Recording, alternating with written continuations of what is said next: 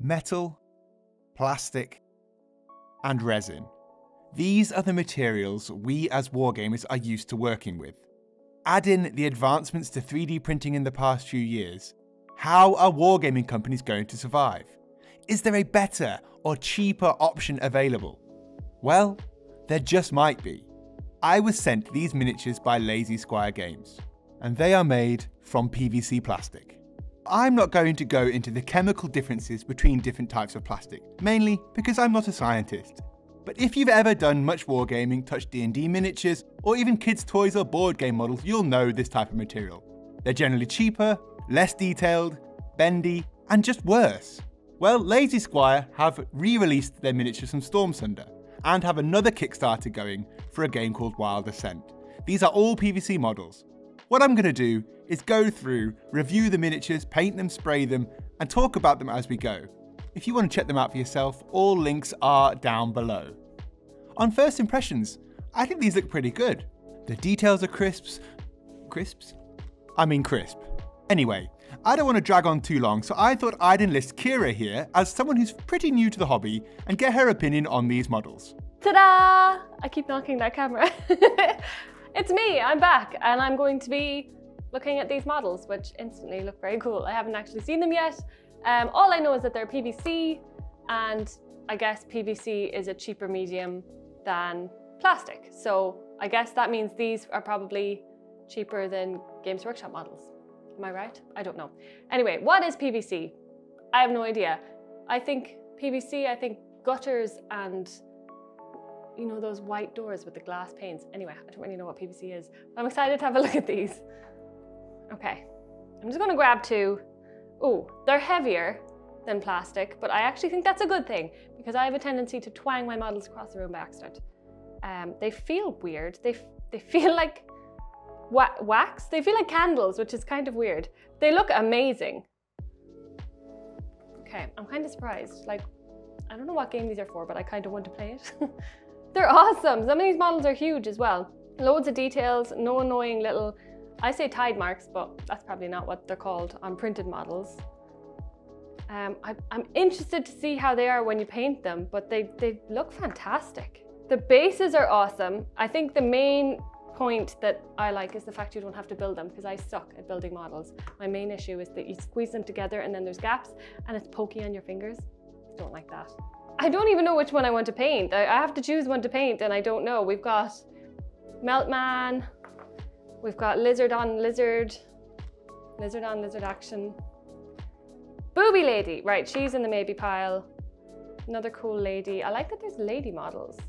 Yes, here to review them and I give it a yes. if this is cheaper than, honestly, than plastic, why are people not just doing this?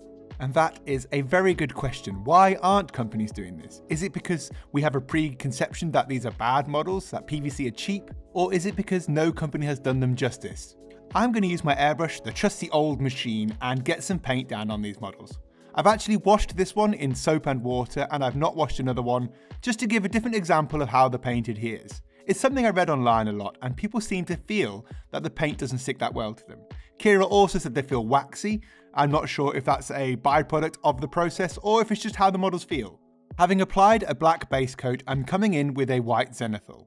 I love this Liquitex ink, it's the thing I use the most. Although slightly thinner than the Games Workshop paints or other brands, it is really, really good for putting that stark contrast down.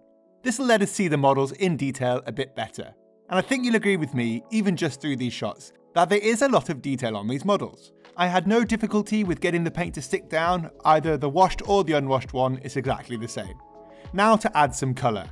We're painting the vampire ones, they're the ones I picked out, and what better colour for a vampire than a good old gory red. Thinning this paint down a little more through the airbrush and then spraying it over a zenithal gives you a natural contrast and starts to really put some shade and highlight onto the model. Of course, you can use any colour you like. I picked red, but just for the variety, I'm to do a purple one as well, because purple is another very vampire colour. These models have a real Castlevania vibe about them. They feel like Alucard, if you've seen the show. If not, do check it out on Netflix, it is very good. But they have a really classic vampire look. Obviously, they're a different sculpt and a different style to Games Workshop models, but that doesn't mean it isn't something they could introduce.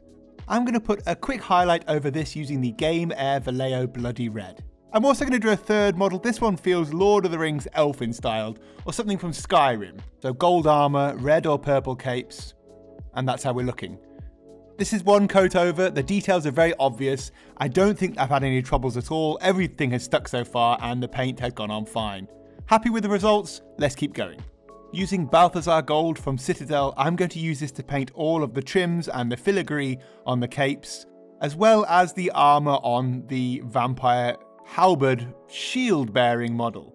This is the classic elf style and I'm looking forward to sticking a wash on this to see how it comes out.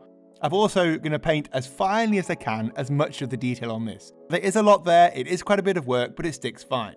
Next, it's just filling in the rest of the details. Mournfang brown for the leather, Rakarth flesh for the base tones of the vampire, and Dryad bark for the weapons. Carefully placing this on the models in all those little recesses, it is a little bit difficult to find exactly what parts of the model are meant to be what. There are no painting guides to these as of yet, although I'm sure more will come, and in fact, this could be one for you. Seraphim Sepia instead of Agrax, just because it has a slightly pinker colour to it, and I think it's not going to be as strong or as stark as maybe Agrax would be on these parts of the models.